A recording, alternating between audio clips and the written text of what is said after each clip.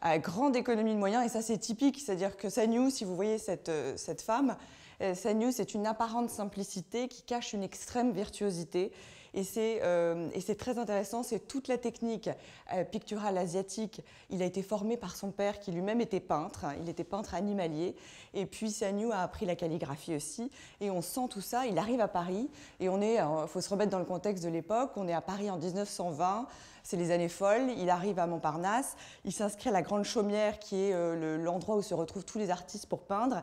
Et là, lui, chinois, découvre le modèle vivant, c'est-à-dire qu'il n'a jamais travaillé sur modèle vivant. Dans la tradition picturale chinoise, on n'est pas formé à travailler sur un modèle vivant. Donc on, peint des paysages, etc., mais on ne peint pas le corps humain. Et là, c'est extrêmement révolutionnaire pour un artiste chinois des années 20 de peindre une femme nue, en l'occurrence.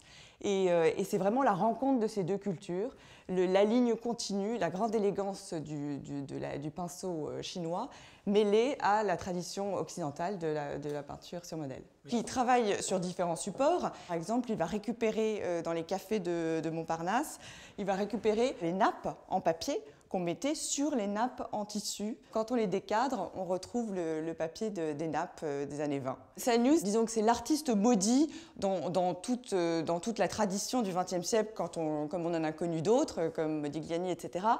Euh, parce qu'il va vivre en fait à partir du milieu des années 30, quand son frère ne peut plus lui envoyer d'argent de Chine, il va vivre très simplement à Paris, il va toujours vivre pour son art et il va mourir dans des conditions assez difficiles puisqu'il est asphyxié au gaz et on ne connaît pas vraiment la fin de sa nuit précisément.